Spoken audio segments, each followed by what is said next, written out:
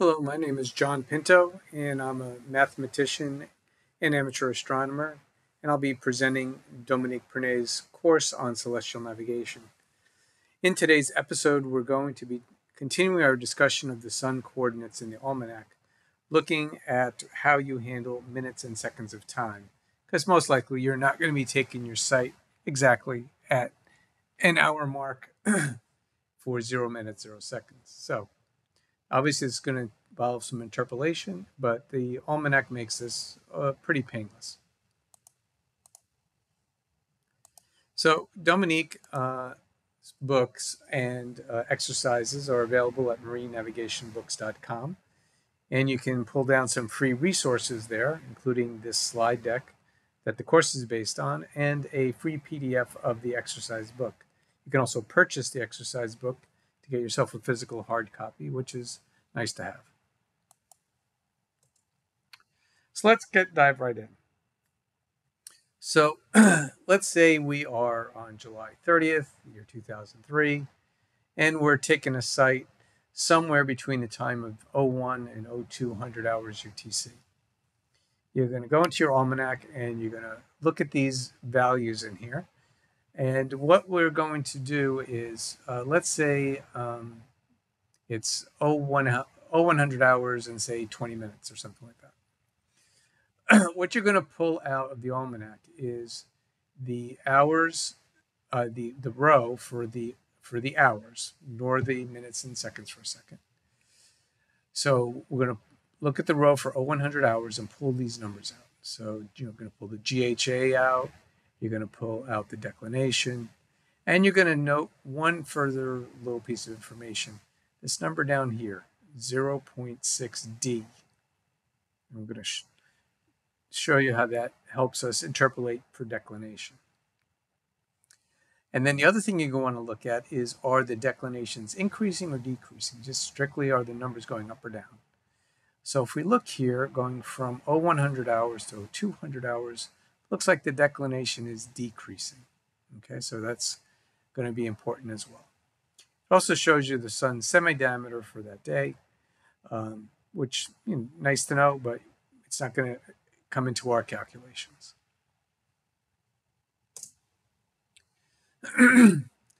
Just as a reminder that the sun turns around at approximately 15 degrees per hour, if you were to subtract the O100 hours and from the O200 hours, you'd see that, yep, sure enough, sun's turning at about 15 degrees per hour. So let's get going at 0120 and 18 seconds. Let's get the GHA. so what we do is we go into the part of the almanac called the increments and decrement increments and corrections table. Usually it's at the back of the almanac. Um, if you get the official almanac, it'll be actually in kind of yellow buff colored pages. Make it easier to find.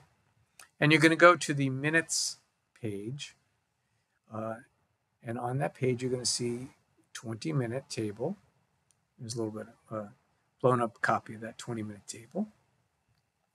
And you're going to go down for your minutes, which was 18, uh, 20 minutes. And we're going to go down here for your seconds, so 18 seconds. So 20 minutes, 18 seconds. The sun will have moved in the sun column 5 degrees, 4.5 minutes. We're just going to add that to our GHA at 0100 hours to get our GHA at 01 hours, 0100 hours, 20 minutes, and 18 seconds. Add those two together and you get 198 degrees and 27.7 minutes. Pretty simple. The Almanac did all of our interpolations for us. Very, very nice. Now let's go for declination. So at 0100 hours, it was 18 degrees 39.1 minutes. And we, uh, if you had done the subtraction from the declination of 200 hours, we would see it went down by 0, 0.6 minutes per hour. So, what was it at exactly 0100 20 minutes and 18 seconds? The way you do that, because declination changes so slowly, you can just basically ignore the seconds and just look at the at the minutes. So again, we go to our 20 minute table. And if you look over here, you get this nice little interpolation table, we look up 0.6 and it says for 20 minutes, that comes out to 0.2. And because we knew it was going down, we have to subtract it from our uh, declination that was at 0100 hours. And we get that it was north 18 degrees, 38.9 minutes. And that's our declination at 012018. Again, really nice. The almanac does all our interpolation for us. We just have to pull a number out of the table and do a little arithmetic. Let's go for a second example. February 1st, 1800 hours, 24 minutes, 35 seconds. We look in our table uh, for February 1st at the uh, 1800 hour mark. We pull that out and we notice our D. We're going to pull out the 19 hours just for some uh, confirmation of our, of our numbers. So we look at 1800 and 1900 hours. We look at their difference. And hmm, it's not exactly 15 degrees per hour, but that, as we said, that's 15 degrees per hour is a very good approximation. It's not going to get too far, far away from 15 degrees per hour, but it's not going to be exactly uh, on every day or every hour of the year. But that's no matter to us. As long as it's close to 15 degrees per hour, we're, we're good to go. So we need to know what's the GHA at 18 hours, 24 minutes, and 35 seconds. So we look at our table for 24 minutes, we go down to 35 seconds, and we say, see the sun will have moved 6 degrees, 8.8 minutes. So we take our 1800 hours GHA, we add our increment for 24 minutes, 35 seconds, which we just pulled out of the increments and corrections table. We add those two together, and we get 92 degrees, 45.1 minutes. Again, it's nice that the Almanac does all of that work for us. We just have to do a little arithmetic. Let's go for declination. Again, for declination, we can ignore the seconds. Um, when we pulled it out of the tables, uh, sorry, we pulled out of the Almanac daily page, uh, we saw that um, it was south 1704, and at 1900 it was 1703.2. So again, declination is decreasing, so we got a minus sign there. And that turns out to be 0, 0, 0.8 uh, uh, minutes. At the bottom of that table, if you had noticed, it the D was 0.7. Let's just go back for a second, look at that. So you notice it was 0.7 down here. Now, you could use either the uh, number that you calculate from doing the subtraction or just use the number that's down at the bottom of the table. It's really not going to make very much bit of a difference. It's typically only going to be off by 0.1 minutes.